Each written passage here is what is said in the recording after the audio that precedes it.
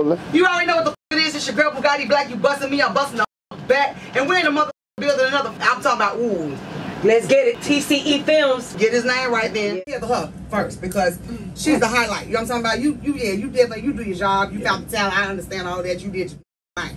But we gotta make sure we highlight this right here because this bitch, first of all, first of all, I don't went on, I went on. Okay, tell me, tell me about Candy. Um, Are you a stripper? I'm not a stripper. No. Okay. I'm not a stripper. Okay. no. Never have been. Never had No. waitress, bottle girl, no. I love. Um, I was a wait. I was a Hooters girl for eight years. Hooters. Mm-hmm. Okay, you know, you know what they told me about Hooters? What they say? They said they don't, they don't have my stocking size.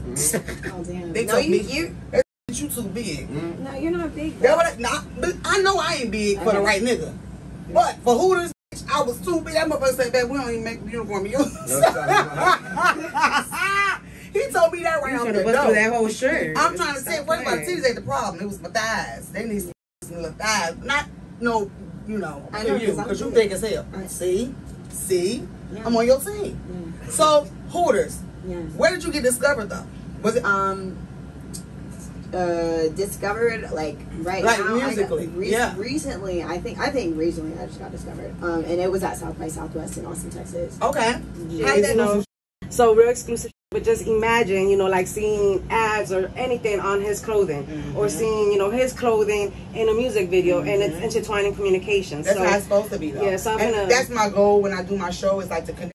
With, I mean, tonight was really all about y'all because I wanted to make sure that we just embodied all of that because you're a new artist. Not really new. You're kind of like old new, but new to everybody else. You feel me? But you got some. sh- You got some. she got some heat. You got some. sh- Bring this. Bring some of shit back. Yeah. So and- y'all had already connected. Yeah, we had already connected, Okay. and then um, you know, Trap was like, "Hey, you need to come out South by Southwest." We we went out there. Um, my friend PB, he put me on a lot of stages, dropped me on a lot of stages.